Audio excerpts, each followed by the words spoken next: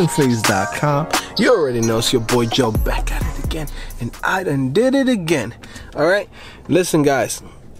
Quick advice for everybody. Doesn't matter if you're a junior, doesn't matter if you're a senior, doesn't matter if you're mid level, doesn't matter if you're a fucking coding ninja, right? I don't care. this is a quick advice. Stop jumping on the latest thing, right? Especially when you're trying to push something to production. When you're working in production, guys, you do not push things that are experimental, right? It's like just because you start seeing a lot of people using online and they're like, hey, uh, we want you to use uh, whatever, Bootstrap 4 or fucking even Bulma IO, which I, I love the framework, but for my own projects. When you at work, you gotta fucking test the shit out of that. You can't just be like, hey, I'm gonna switch up on, on the framework and nobody knows until the last day.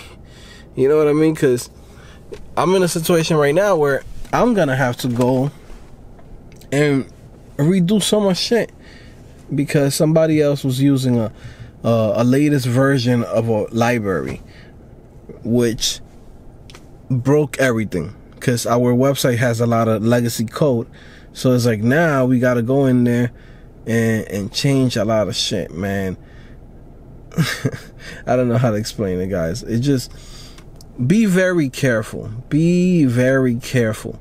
Always ask somebody whenever you're gonna add a new version of anything. Doesn't matter if it's the latest version of Windows. Doesn't matter if it's the latest version of Ubuntu. Doesn't matter if it's the latest version of uh, a fucking library. I don't care if it's Ramda of version 4.0. I don't care if it's uh, the latest C sharp. It doesn't matter what it is, guys. You need to ask the most senior person in there, right? The person who's in charge of the project or the person who's closest to that person who's in charge because that saves your ass from getting in trouble. That saves your ass from people looking at you like you're fucking crazy for doing some crazy shit, uh, you know, on, on, the website. So this was just a quick advice, man. Like I'm telling you guys, listen to me. You're gonna be fine, but. Uh, you know, like every day there's new situations, even either in my job or situations where people text me, like my friend is freaking out because of this situation where it's like somebody came in with a whole different version and started coding um, their code in a certain way for the newer version. But what they didn't think of is like, hey, everything else on the website is legacy, but now me adding this new version now all those things are not gonna work. So now somebody, whoever's the senior developer or whoever's the fucking developer mid-level whatever, is going to have to go in there and fix all the mistakes that the person did. Which brings in more work for them. That's just what I'm saying, guys. Like, you just gotta also too, man. Coding is not about just like oh being smart, man it's about having common sense, man. I don't care if you could solve the biggest sorting tree fucking bullshit. I'll fucking clap for you. I'll be like, you know, great. You, you did a fucking good job on remembering some something stupid, right? But if you come in and you fucking just have no common sense on certain things, it's like to me I have I have no no patience for that. Like I'm very I'm very cool and I'm very nice with everybody. But man, it's just just have common sense, right? Common sense of like, hey, maybe this doesn't work with the website. Maybe I should ask somebody because there's legacy code throughout the whole website. So if I go and change something, maybe somewhere something's gonna break. You know, before you start coding anything, it's really good to do pseudocode, right? Just go in there, type down what you're doing, type down what's gonna happen. Like, if I click on this button, is going to show this modal. Like, write that down. Don't code yet. Write it down, right? And it's the same thing, just to keep your your head, like you know, sharp. and know what the hell's going on. Because sometimes when we want to start coding, we're like, oh man, I go online and I find, you know, the latest fucking uh, Harry Potter framework, and I'm like, I want to just add this to the website. Yes, buddy, you could do that, but then what's gonna happen with the rest of the site? You're gonna go in there and start recoding shit from five years ago, ten years ago? No, because now you're doing double work. You know what I mean? Like, guys. I don't know, man. I, I just really wish everybody would just have common sense, man. You know what I mean? Like, have common sense and, and, and start thinking about that, man. Start thinking about just the simple things about web development. Start thinking about just using your, your brain. It's that simple. It's nothing too crazy. We're not asking you to to create a, a, a fucking I don't know an app that makes your phone fly. Nah, just keep shit simple. Keep shit as simple as possible.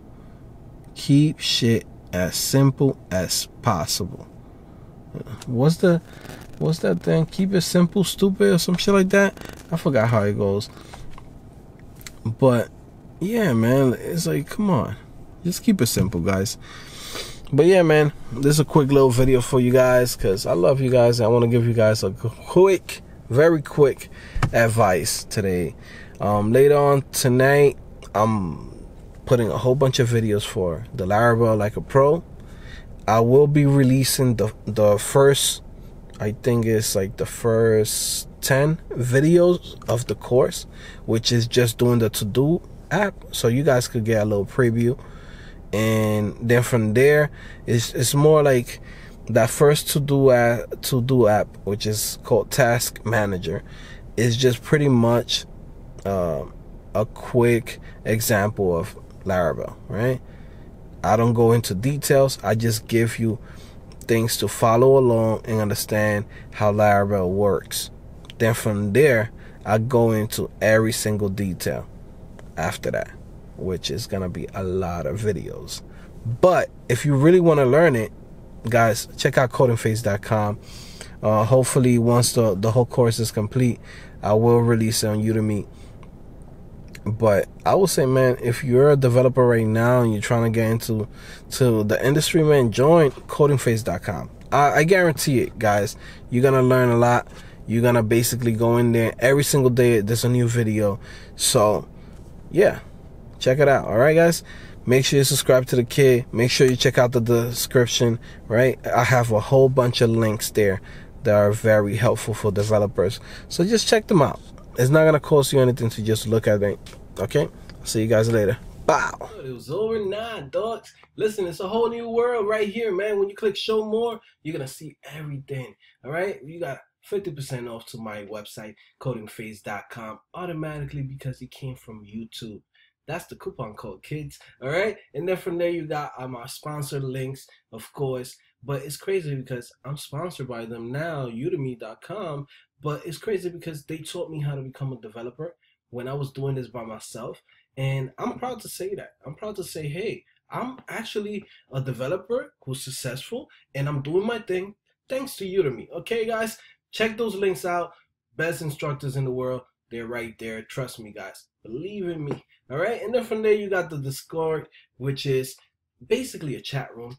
It's a, a way to communicate with each other. Like, you know, all my friends are in there. You got your boy Matt. You got your girl Barbara. You got a couple of people in there. You know, we got Cam. We got the whole squad is in there, guys. Listen, check it out, man. Put in some time. Just click on that link, show more, and you will see all the most valuable links. All right, guys. Fun don't stop here, man. The fun don't stop just on this video. There's a whole community to this. Codingphase.com. I'll see you guys later. Bye.